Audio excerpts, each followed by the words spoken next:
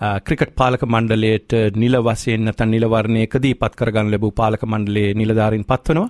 මේ හරහා විවිධ වූ මත මේ වන විට ශ්‍රී ලංකාවේ අපිට දකිනට ලැබෙනවා. විශේෂයෙන්ම මේ කරුණ සඳහා අමාත්‍යවරුන් දෙදෙනෙකු එකිනෙකට පරස්පර විරෝධීව කටයුතු කරන ආකාරයත් ඒ වගේම පාලක මණ්ඩලයේ සභාපතිවරයා නියෝජ්‍ය කතානායකවරයා අමාත්‍යවරු සමග ගැටුමක් ඇති කරගන්න ආකාරයත් අපිට දැක ගන්නට ලැබුණා. පසුගිය සතියේදී අපි ඔබට ගෙනාවා අර්ජුන රන්තුංග මෙම නිලවරණය අවසානයේදී කියනවා ක්‍රිකට් මාෆියාවක් පෙන්නුම් කරනවා කියලා මෙම ප්‍රතිඵලවලින්.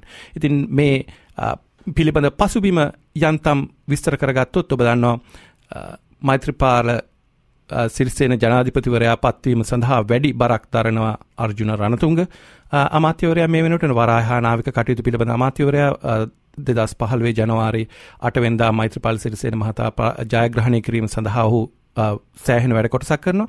ඒ අතරතුරේම තිළඟ සුමතිපාල සහ ක්‍රීඩා අමාත්‍යවරයා දයසිරි ජයසේකර හිටපු ජනාධිපති මෛත්‍ර මහින්ද රාජපක්ෂ මහතාටයි සහයෝගය දක්වන්නේ ඉන් අනතුරුව ඇති කරගන්නා රජයේදී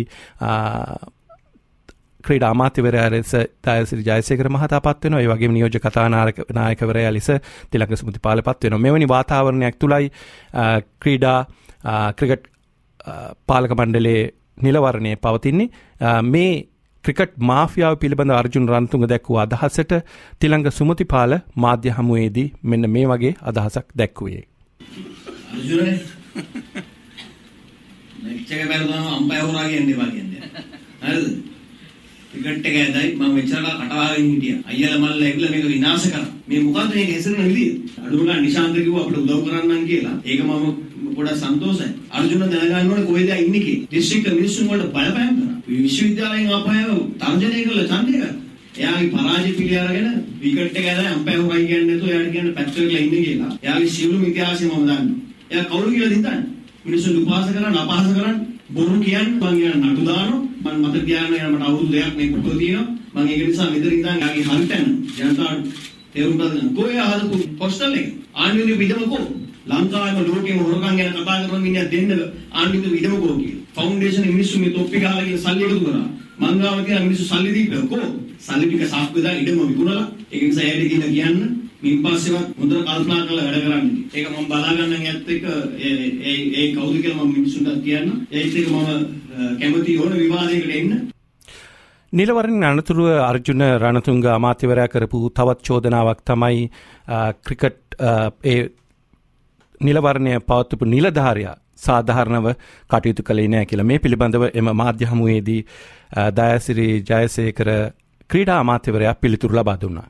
රුවන් චන්ද්‍ර මහත්මයා කියන්නේ අධ්‍යක්ෂ ජනරාල්වරයා විදිහට මගේ අමාත්‍යාංශ වැඩ කරන නිලධාරි. ඔහුව පත් කරේ මේ මැතිවරණය ක්‍රියාත්මක කරන බලධාරිය විදියට. ඔහු ගත්ත හැම තීන්දුවක්ම ගත්තේ මගෙන් විමසලා කිසිම වෙලාවක ඔහු තනි තීන්දුව ගත්තේ නැහැ. රුවන් චන්ද්‍ර මහත්තයාට බයින්න අයිතියක් නැහැ ඔවුන්ට. බයිනව නම් බයින්න තියෙන්නේ වහෙන් වරෝ කියන්නේ නැතුව දයාසිරි ජයසේකරට කවුරු හරි ඇඟිල්ල දික් කරොත් මල්ලඟ තියෙනවා ඕන දෙයක් නිවැරදිව අපි කරයි කියන කාරණේ ඔප්පු කරන්න පුළුවන් සියලු සාධක තියාගෙන තමයි අපි මේ කටයුතු ටික කරන්නේ. අන්තිම හරියේ මට දේශපාලන බලපෑම් මට නෙමෙයි මටත් තිබුණා හැම කෙනාටම තිබුණා. ඉතින් ඒක නැහැ කියන්න බෑ. මම කියන්න කැමති අධිකරු ජනාධිපතිතුමා කිසිම ආකාරයේ බලපෑමක් මේ නිලවරණයට කරේ නැහැ කියන එක විතරක් මම බොහොම ගෞරවයක් ඇතුව කියනවා. සාමාන්‍යයෙන් කරන්නේ එහෙමනේ ජනාධිපතිවරුනේ. ඒ මට බලපෑම් පිළිබඳව මම වෙනම කතා කරන්නේ.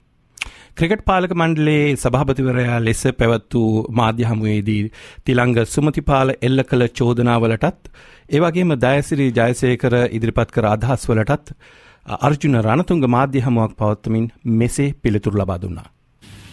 ක්‍රිකට් පාලක මණ්ඩල සභාපති වුණාට පස්සේ ක්‍රීඩා ඇමතිවරයාවම ඒ වේදිකාවෙම තියාගෙන මට දෝෂාරෝපණය කළා තියෙනවා ඒ වගේම අනවශ්‍ය කියන්නේ සාධාරණ නැති බොරු ප්‍රචාරණය කළා තියෙනවා. ඉතින් හින්දා මම හිතුවා සුමතපාල කිව්වා මම ඉඩමක් ආණ්ඩුවෙන් අරගෙන හොස්ටල් එකක් හදන්න ඒක වික්කයි කියලා. ඒක ගැන මට මෙතනදී කියන්න බෑ. මොකද මම නඩු මාර්ගය යන්න තීරණය කරලා තියෙනවා. මම උසාවියේදී සුමතිපාලට කියත හැකි ඒ කාරණාව ගැන. ඒ වගේම තමයි තව චෝදනාවක් කරා තොප්පි මං අස්සම් කරලා තොප්පිත් විකුණලා සල්ලි සාක්කුව දාගත්තා කියලා. මම ඒකටත් කියන්න තියෙන සුමතිපාලට මම ඒක උත්තර දෙන්නම් උසාවියේදී කියන එක. හැබැයි අමතක කරන්න එපා සුමතිපාල දන්නේ නැහැ ඌවා. මොකද මහා ඉස්පිරිතාලයට MRI ස්කෑනර් එකක් නැහැ කියලා මට ඇවිල්ලා මට ඉල්ලීමක් කරා ඒ MRI ස්කෑනර් එක ගන්න මුදල් එක්කව කරන්න මගේ දායකත්වය ලබා දෙන්න කියලා. මම ඇඩ්වර්ටයිස්මන්ට් වලට ගියේ ඒ ඇඩ්වර්ටයිස්මන්ට් එකට. ඒ වගේම මේ තොප්පි එක මම අස්සම් කරලා අපි සල්ලි එක්කව කරලා ඒකෙන් ගත්ත මහරෝහලට MRI ස්කෑනර් එකක්. අද වෙනකොටත් ඒ MRI ස්කෑනර් එක තියෙනවා. අද වෙනකොටත් මගේ නම ඒ බිත්තිය ගහලා තියෙනවා. ඒ වගේම මම සුගතිපාලට කියන්න ඕනේ මාව ක්‍රිකට් නිලවරණයෙන් පරාජය වුණා. හැබැයි මාව මහජනතාව අතර පරාජය වෙච්ච කෙනෙක් නෙමෙයි. පහුගිය මැතිවරණයේදී මට ගම්පා දිස්ත්‍රික්කයට ගිහිල්ලා අලුත් පක්ෂයකින් එක්සත් ජාතික පෙරමුණෙනුත් මම ඡන්දය ඉල්ලලා මම පාර්ලිමේන්තුවට ආවා. හැබැයි මට කනගාටුයි කියන්න එතුමාට පහුගිය පාර්ලිමේන්තු මැතිවරණයේදී ඡන්ද ඇවිල්ලා තියෙන්නේ 21000 ගානක්. එයාට උඩින් ඉන්නවා ධනසිරි අමරතුංග මහත්තයාත් ඉන්නවා ජගත් කුමාර කාන්ති කොඩිකාරී අපේ කාන්ති කොඩිකාරී නගරාධිපතිනියක් ඉන්නවා එයාට උඩින් ඡන්දය අරගෙන. මම එතුමාට මතක් කරන්න කැමතියි ජනවාරි 8 වෙනිදා අපි මෙයා ආණ්ඩුව හදනකොට මෛත්‍රීපාල සිරිසේන ජනාධිපතිතුමාව ජයග්‍රහණය කරනකොට ඔය කතා කරන සුමතිපාල හිටියේ අපේ ජනාධිපතිතුමා මෛත්‍රීපාල සිරිසේන ජනාධිපතිතුමාත් එක්ක නෙමෙයි. හැබැයි පාර්ලිමේන්තුවේ මැතිවරණය පෙරදුනාට පස්සේ එයා ගිහිල්ලා ජනාධිපතිතුමාත් එක්ක විකට් අදයිද ග්‍රවුන්ඩ් එක හොඳ නැද්ද අනිත් ටීම් එක බර වැටුණාද වැඩිද බෝලේ හයියෙන් ආවද කියලා මොනවද කිව්වේ කියලා මම දන්නේ නැහැ. හැබැයි මම එකක් දන්නවා අඬලා අඬලා කොහොම හරි පාර්ලිමේන්තුවට ජාතික ලයිස්ට්වෙන් ආවා. ඊට පස්සේ එතනිනුත් එහාට ගිහිල්ලා නියෝජ්‍ය කතානායක කෙනෙක් හැටියටත් පත් වුණා. පරාජය වුණා මම පරාජය පිළිගත්තා. මම කිව්වා මොකද්ද තත්ත්වය කියලා අපි පැත්තට වෙලා හිටියා. අද වෙනකම් මම කතා කරන්න කියන හැබැයි අර ඇඟිල්ල දික් කරලා නිකන් තර්ජනාත්මකව කරපු දෙයට මට මම හිතුවා මම පිළිතුරක් දෙන්න ඕනේ කියලා. මොකද නැත්තම් සුමතිපාලලා හිතනවා මේ ඒගොල්ලෝ හිටිය තැන අමතක වෙලා අද අපි හින්දා අපි හදපු තෝතන්නේ නටනවාද ඇවිල්ලා. අපි හදපු අපි මේක හැදුවේ. හැබැයි දැන් පිණුම් ගහන්න වෙන කට්ටියක්.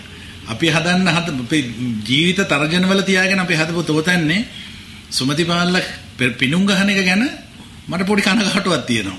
අද නිකන් ඉන්නේ ඒගොල්ලෝ ආණ්ඩුව හැදුවාගේ. මෛත්‍රීපාල සිරිසේන අයිති ඒගොල්ලන්ට වගේ. ඔය කවුරුත් ඔය අද කෑ ගහන පිණුම් ගහන මිනිස්සු එක්කවත් හිටියේ නෑ. හිටියේ රාජිත ඇමතුමයි, චම්පික ඇමතුමයි, එම්.කේ.ඩී.එස්. ගුණවර්ධන ඇමතුමයි, හිරුනිකයි අපි කීප දෙනෙක් විතරයි බෙල්ල දෙන්න එළියට ආවේ. අනිත් අය ඩබල් ගේම් ගහපුවාත් අද මෙතන පිණුම් ගහනවා. ඉතින් මම ආණ්ඩුව තියාගන්න මගේ ලොකුම බලාපොරොත්තුව ක්‍රිකට් ක්‍රීඩාවට වඩා මේ ආණ්ඩුව ඉස්සරහට ගෙනියන්න. මොකද ජනාධ මේ ජනාධිපතිතුමයි මේ අගමැතිතුමයි ඉදිරි අවුරුදු 4 5 හරියට ගෙනිච්චොත් මේ රට අපි වෙනස් තත්යකට ගෙනියනවා. ඒක තමයි මගේ තියෙන ලොකුම බලාපොරොත්තුව.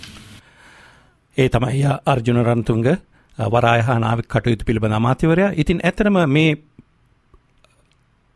දේවල්වලට ඔබට ඇහුම්කම් දෙනට ඔබට හැඟී යනවා ඇති මේ ක්‍රිකට් නිලවරණය හරහා මේ වන විට අමාත්‍ය මණ්ඩලේ ඇතුළතුර අමාත්‍ය ජයසිරි ජයසේකර සහ වරාහා නාවික අමාත්‍ය අර්ජුන් රන්තුන් මහතාත් ඒ වගේම නියෝජ කතානායක වරයා අතරත් මේ තනතුරු නිසා ගැටුමක් ඇති වෙලා තියෙනවා කියලා. මීට අමතරව තවත් ගැටුමක් මේ වෙනට නිර්මාණය වෙමින් පවතිනවා. සාමාන්‍යයෙන් අන්තර්ජාතික ක්‍රිකට් කවුන්සලය සමග සම්බන්ධකම් පවත්වන්නේ ක්‍රීඩා පාලක මණ්ඩලයේ සභාපතිවරයා එහෙම නැත්නම් ක්‍රීඩා අමාත්‍යවරයා. මින් එපිට යමින් අග්‍රාමාත්‍ය රනිල් වික්‍රමසිංහ මහතා සහ ඔහුගේ කාර්යාලය විසින් අන්තර්ජාතික ක්‍රිකට් කවුන්සලයේ සමග සම්බන්ධතාවයක් ගොඩනගා ගනිමින් වර්තමාන මේ නිලබලයෙන් තේරීපත් වූ ක්‍රිකට් පාලක මණ්ඩලයේ කටයුතු අධීක්ෂණය කිරීම සඳහා පස් දෙනෙකුගෙන් සමන්විත කණ්ඩායමක් පත්කිරීමට අග්‍රාමාත්‍යවරයා හා අන්තර්ජාතික ක්‍රිකට් කවුන්සලේ එකඟව තිබෙනවා. මේ තොරතුරු දැනගත්තේ දයර්සිරි ජයසේකර අමාත්‍යවරයා මාධ්‍ය හමුවකදී. මේ මාධ්‍ය හමුවේදී ඔහු මීට පිළිතුරු ලබා දුන්නා.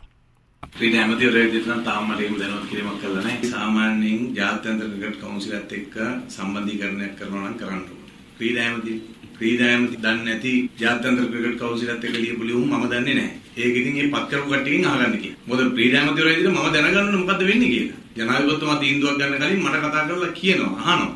අගමැතිතුමා කතා කරලා අහන්න ඕනේ කියන්න ඕනේ. ඉතින් ඒ අය තීන්දුව අරගෙන ජාත්‍යන්තර ක්‍රිකට් කවුන්සිල් ලිව්වයි කියලා මට අදාළ නැහැ. මම දන්නෙත් නැහැ. මොකද්ද වෙලා තියෙන්නේ කියලා දන්නෙත් නැහැ. සිද්ධාර්ථතුමනි මහත්තයා එවපු ලියුම මට අගමැතිතුමා වෙලා තිබුණා දවසක් ඇතුළත වාර්තාවක් කරන්න කියලා. ඉතින් මම දන්නේ නැති කාරණා ගැන මම කොහොමද වාර්තාවක් කරන්නේ? මම කිව්වා මම හොයලා බලලා මට කියන්න කියලා මට තාම සිද්ධාර්ථතුමනි මහත්තයා හම්බුනේ නැහැ ඉතින් පස්සේ. ඉතින් ඔහු දැනගන්න ඕන ක්‍රිකට් පාර්ලිමේන්තුවේ හිටපු සභාපතිවරයා විදියට ඉන්න ඇමතිවරයා බයිපාස් කරලා ජනාධිපතිතුමාට අගමැතිවරයාට කතා කරන එක වැරදි කියලා. දැන්වත් මහත්තයෙක් විදියට ඒක තේරුම් ගත්තොත් එතුමා හොඳයි කියලා මම විශ්වාස කරන්නේ. මේ ප්‍රශ්නේ අපි වෙන විස ගන්න. මට කනගාටුවක් තිබෙනවා මේක ගැන. ජනාධිපතිතුමත් අගමැතිතුමත් එක්ක සාකච්ඡා කරලා ක්‍රීඩා ඇමතිවරයා විදිහට මම තීන්දුවක් ගන්නවා. හොඳ ගෙලින්තියක් මම වැඩ කරනවා. වැඩ කරන්න පුළුවන් කාලය තුල මම වැඩ කරනවා. මේ ධර්මං ගාලා කියලා යනවා වෙන කතාවක් ඒ තමයි අමාත්‍ය ක්‍රීඩාමාත්‍ය ජයසිරි ජයසේකර මහතා. ඔහු මෙම කළ ප්‍රකාශය පිළිබඳව අමාත්‍ය මණ්ඩලය තුළ විවිධ මතවාද තිබෙනවා. ඔහු අමාත්‍ය මණ්ඩලයේ විනය නීති රීති කැඩුවා. එහෙම නැත්නම් අග්‍රාමාත්‍යවරයාව ප්‍රසිද්ධිය විවේචනය කළාය කියන කාරණය පිළිබඳව මේ දවස්වල මාධ්‍ය වාර්තා කරනවා. කෙසේ වෙතත් අපි ඉදිරියේදීත් ඔබට මේ පිළිබඳව වැඩිතොරතුරු ගැනීමට බලාපොරොත්තු වෙනවා. ඒ තමයි අප ඔබ වෙත ගෙන ආ ක්‍රීඩා විශේෂාංගය. ඒ ක්‍රීඩා විශේෂාංගයේ අවසානයත් සමගින්ම අප ඔබගින් සමුගෙන යන්නටයි සූදානම. අද වැඩසටහන නිෂ්පාදනය කොට ඉදිරිපත් කලා උපුල් පාදුක් විධාන මමවට කතා කළ සුජීව මුදලිගේ ලබන සතියේ බ්‍රහස්පතින්දාත් රාත්‍රී දහයට හරියටම දහයට ඔබ හමුවේ බලාපොරොත්තුවෙන් අප ඔබගෙන් සමුගෙන යනවා ඔබ සැමට සුවදායක සතියක් සහ ජයග්‍රාහි සතයන්තයක් ප්‍රාර්ථනා කරමි.